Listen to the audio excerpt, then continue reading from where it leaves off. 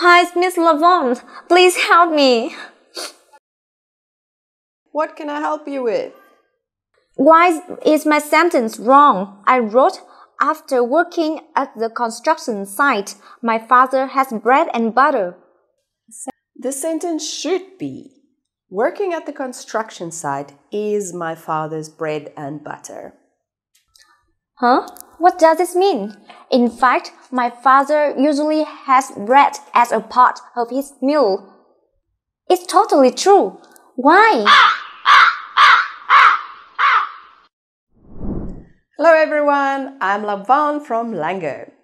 Have you encountered any phrases like that? Today, to help you get to know more useful phrases, we are going to learn some interesting binomials. Is it new to you? A binomial is a noun phrase with two heads joined by a conjunction, in which the order is relatively fixed like bread and butter. Alright, let's start.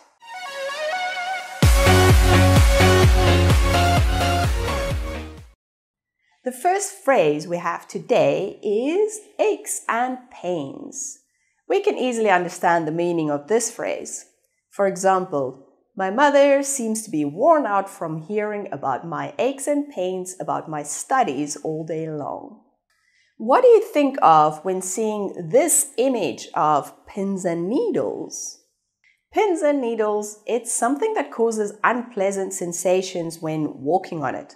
So, this phrase means you are nervous or excited about something that's going to happen.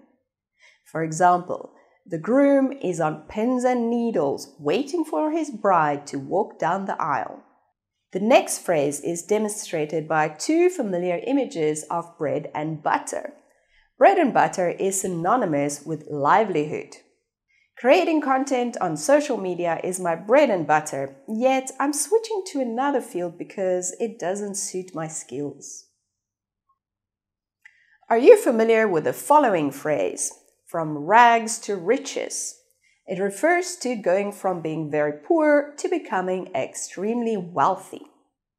She turned from rags to riches after being crowned and awarded a large sum of money.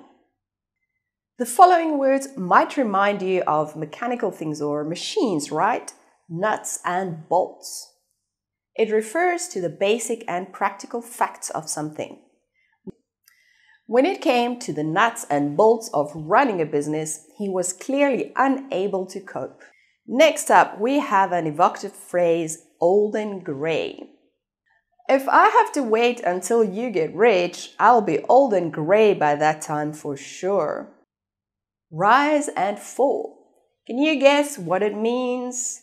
It refers to the up and down changes of someone or something over time. The singer's rise and fall was portrayed by his journey from young famous singer to his despair after a series of failed albums. The idiom ham and eggs refers to two things that suitably go together. Mike and James have been like ham and eggs since the start of their four years studying at university together. Do you know the meaning of the following phrases? Rise and shine and fair and square. Rise and shine is used to wish someone happiness upon waking up. Rise and shine, it's going to be a beautiful day. Fair and square. That means something is done honestly and fairly. Despite lagging behind in the first round, she won the competition fair and square in the end.